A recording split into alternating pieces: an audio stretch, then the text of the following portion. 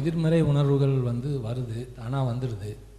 So வந்துட்டு அதை realise பண்ணுறேன் இது வந்துடுச்சுங்கிறது உடனே கொஞ்ச நேரத்தில் ரியலைஸ் ஆகுது.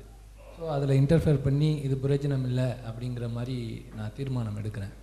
இதை விடலாங்கிறப்போ.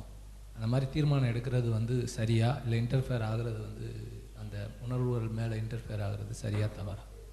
இல்லை அதாவது இப்போ ஒன்று எதிர்மறை உணர்வுகள்ங்கிறது எல்லாமே வரும். வர்றதை வந்து நீங்கள் செயல்படுறது என்னங்கிறது நீங்கள் எதுக்கு உயிர் கொடுக்குறீங்கிற பொறுத்தது தானே. நீங்கள் உயிர் கொடுக்கறதுல வந்து எதிர்மறை அம்சங்களுக்கு உயிர் கொடுக்காமல் இருக்கிறது நல்லது அவ்வளோதான் ஏன்னா அது வந்து உங்களை எங்கேயோ கூட்டிகிட்டு போகிறதில்ல நீங்கள் அது உயிர் கொடுத்தா மட்டும்தான் அது உங்களை கூட்டிகிட்டு போகும்.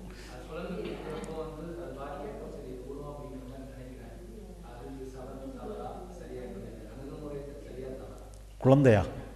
நான் நானே வந்து இப்போ ஒரு எதிர்மறை எண்ணங்கள் வருது. அது ரியலைஸ் ஆகிடுது அப்போ திங்கிங்கிற ஸ்டேஜுக்கு வந்துடுதுங்க நீங்கள் ஒரு எண்ணங்களை நான் ரியலைஸ் பண்ணுறப்போ நீங்கள் திங்கிங்கிற ஸ்டேஜுக்கு வந்துடுறீங்கன்னு சொல்கிறீங்க ஸோ அப்படிங்கிறப்போ அந்த திங்கிங்கிற ஸ்டேஜில் தான் வந்து இதை யோசிக்கிறது பிரயோஜனம் இல்லைங்கிற மாதிரி அதை நம்ம வேறு என்ன பண்ணணுமோ அதில் கவனம் செலுத்துவோங்கிற மாதிரி போகிறேன் பட்டு அந்த அணுகுமுறை சரியாக தவறா?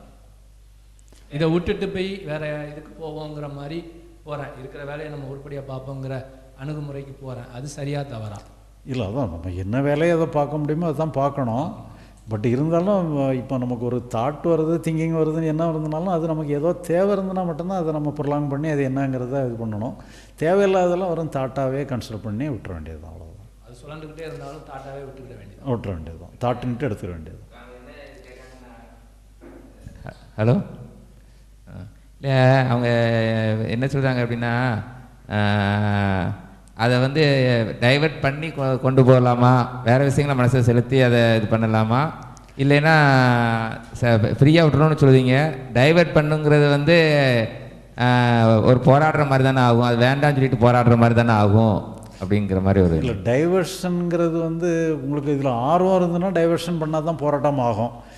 இது வந்து வேண்டியதில்லைன்ட்டு ஒரு முடிவு பண்ணிட்டீங்கன்னு சொன்னால் நீங்கள் அது முடிஞ்சு போயிடும் அவ்வளோதான் நீங்கள் வந்து டைவர்ட் பண்ணுறதில்ல உங்களுக்கு வேண்டாங்கிறத முடிச்சுக்கிடுங்க அவ்வளோதான் வேண்டான்ட்டு முடியும் நீங்களே வந்து தேவையில்லாதது வருதுன்னுட்டு முடிவு பண்ணிட்டீங்கன்னு சொன்னால் அது போயிடும் உங்களுக்கு அது. அது வேல்யூ இழந்து போயிடும் அது. அதுக்கப்புறம் நீங்கள் எங்கே தேவையோ அங்கே நீங்கள் கவனத்தை செலுத்திக்கலாம். இதை டைவர்ட் பண்ணுறதுங்கிறது இல்லை. தேவையில்லாததுன்னு சொல்லி சொன்னால் உங்களுக்கு இது தேவையில்லாதது வருதுன்னுட்டு ஃபீலிங் வந்துட்டுனாலே அது பலம் குறைஞ்சி போயிடும்